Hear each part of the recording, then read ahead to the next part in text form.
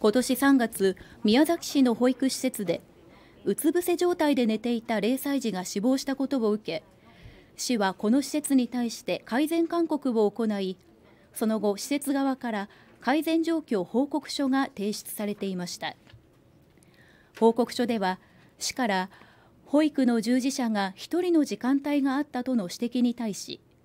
常時2人体制を取るため運営時間を午前8時から午後8時までに短縮するとしています。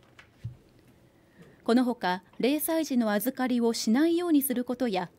仰向け寝の徹底を全職員で確認したことなどが盛り込まれています。この施設は現在も自主休園中で宮崎市は市内の施設向けに睡眠時の注意点などをまとめた動画の作成を検討しています。